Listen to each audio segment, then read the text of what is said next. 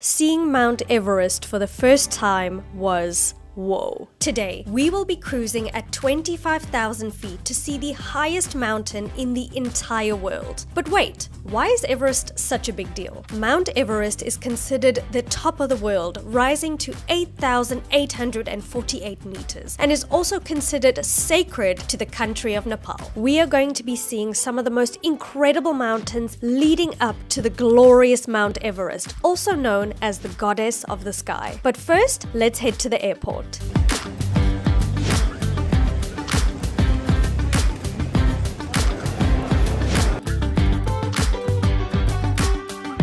So we have got our ticket. We're at the international airport here in Kathmandu.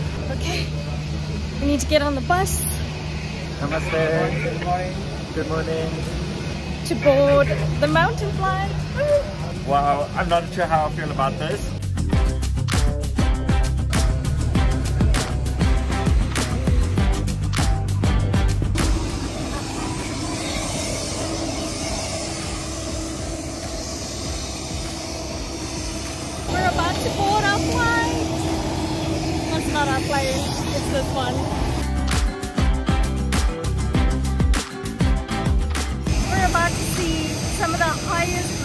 In the Himalayas right now. And we're going on this tiny plane.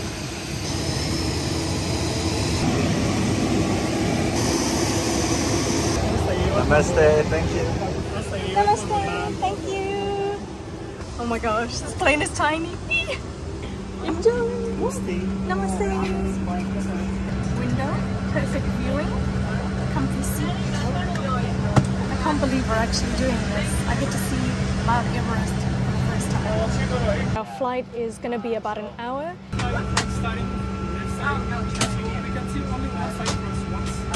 So it will be your side, first mountains. Every person gets a window seat. So Shev is not sitting next to me. And we each get a window seat because on the way there, the left hand side of the plane, which we are at right now, we get to see the view of Everest. And then on the way back, the right hand side, we'll get to see it. Sad we're not next to each other. Normally we sit right next to each other on the plane.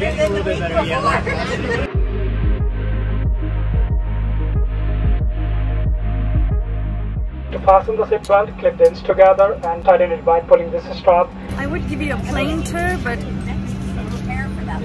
this is it. it's still like crazy because we had to come to the airport as if we were going on a domestic flight, but we had no luggage.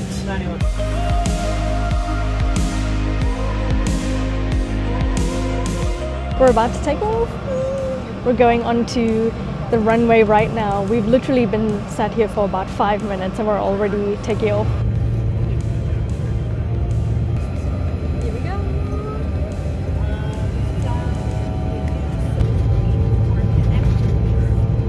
Our flight to mountain will take 50 minutes and we start be flying at an altitude of 25,000 feet. We look forward for a safe and comfortable flight. Thank you.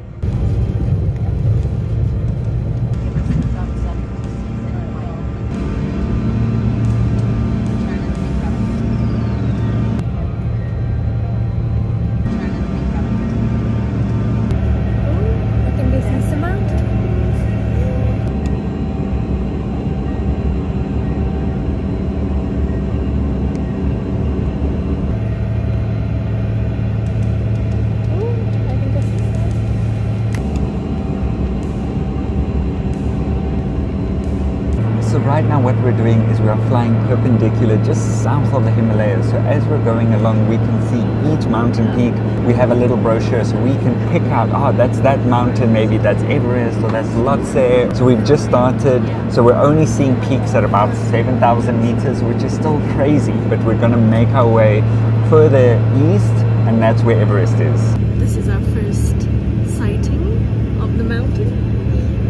Ladies and gentlemen, if you look to your left, you will see our first sighting of Langtang, which is ranging at 7,234 meters, also known as one of the most beautiful of the Himalayan range. This is so impressive. I can't actually believe we're doing this. To see this up close through the camera, it won't do any justice, but to see it yourself is unbelievable. Wanted to thank Get Your Guide for sponsoring this video. Out of all the tours we've done, this has got to be the coolest, highest Everest? We booked this tour through Get Your Guide, and if you don't feel like trekking for two weeks, you can have the opportunity to see the Himalayas and Mount Everest from your guaranteed window seats. Get Your Guide offers 60,000 curated bookable tours in over 3,600 destinations worldwide. That's a lot to choose from. It's so easy to find something fun and enjoyable to do, like casually seeing Mount Everest up close. Book a food tour in Spain or go mountain viewing like us on your next trip. It's super easy to find a tour with your preferred date, there's no paperwork needed, pickup and drop off is included, and there's 24 7 support if needed. Other perks like free cancellation and one of my favorites being skip the line value. Next time you're thinking of booking a tour, head over to Get Your Guide using the link below, and I hope you book this one because it was really worth it. Okay, let's continue flying. Uh, considered as the most beautiful mountain. Yes. This is the very first one. Wow. And I'll be here again to brief you on. Thank you. Thank you. We are now coming up to Dorje Lakpa, and shortly behind is Shishapangma, our first 8,000 mountain, which lies on the border of China. Right now, between the two snow-capped mountains, there is a little gap, and that is the only highway or road that goes from Nepal to Tibet into China. That's the way they go through, through that little gap in the mountains. It's crazy to witness that there is a perfect line of snow at the top of the mountains, and yet directly at the bottom and below, there is no snow. So as the sun is shining on top of these mountains, you can see this perfect line of icy white snow. That's quite incredible. And it just gives you an appreciation for these mountains, the Himalayas. It is impossible for us to portray this on camera because First of all, there are scratches all over the window, and I think I have an extra layer of appreciation for the people that attempt to climb these high mountains.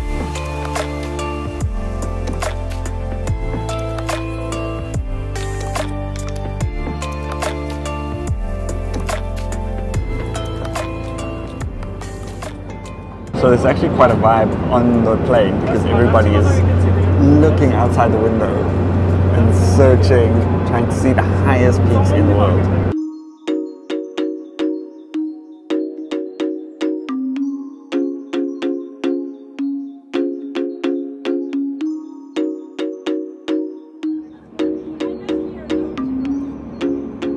Ladies and gentlemen, you are viewing exactly right now is Mount Everest, Nuptse, Lhotse, Chamlang, Makalu, and show you a number on your left coming out. Thank you. Seeing Mount Everest this close has got to be the most surreal moment we have ever had. That's kind of difficult to put into words, seeing as though it takes 10 months to climb this incredible landmark and also you need $30,000. So we chose the easy mountain flight. There are only 14 peaks in the entire world over 8,000 meters, and they all happen to be in the Himalayas. And anything over 8,000 meters is known as the death zone. As you climb to higher altitudes, the air is thinner and there is less oxygen, so your body cannot function as normal and starts to shut down.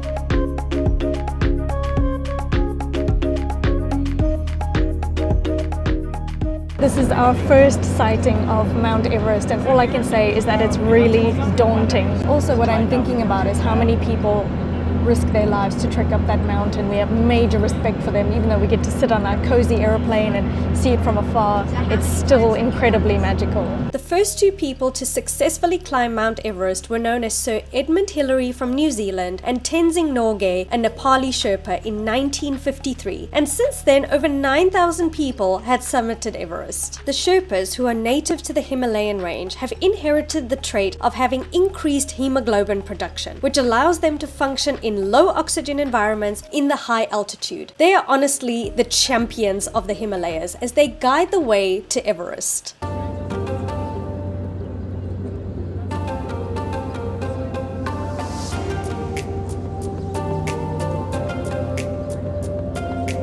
This is probably the clearest sighting of Mount Everest. It's crazy to hear the flight attendant say, on your left, there's Mount Everest.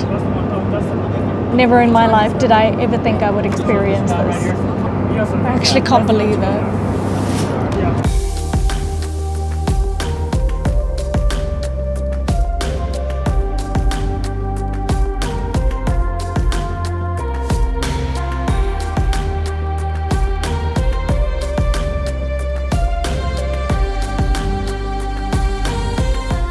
Probably one of the most relaxing flights I've ever taken with the most spectacular views ever. The highest mountain in the world in eyesight, in like perfect range.